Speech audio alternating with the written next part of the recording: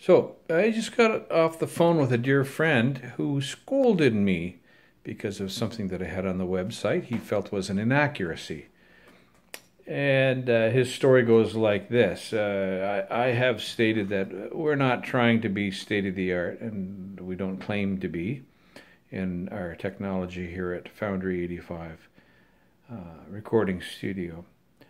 The thing is, we have a lot of analog tape decks and big analog consoles, analog outboard gear, and we really do hope to, to be able to do some projects, as the client insists, uh, or would uh, prefer, in the analog domain from beginning to end. Um, analog, mixed down analog. Uh, we and even we could do some combined things like uh, do a lot of editing in the box, but do an analog summing but ultimately, wouldn't it be nice if we could do everything in the analog domain like the old days? His argument is that the best stuff, in his view, uh, the most classically uh, revered albums are still the ones that came out of the 70s and were done all analog.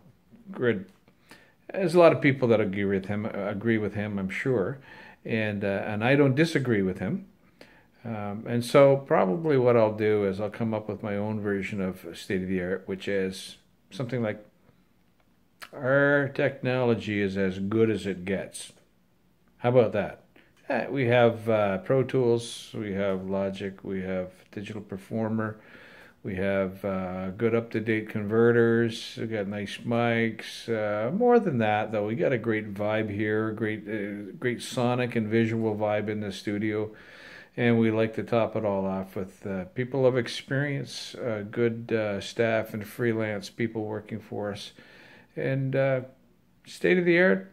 I suppose it's all uh, it's all where you're looking at it from. Anyways, why don't you come down and visit us here at Foundry 85 in Ajax? Visit our website foundry85.com and follow us on Twitter or Facebook, and uh, and then make your own judgment whether we're state of the art or not. I, I think it's a pretty cool place, no matter which way you slice it. Bye for now.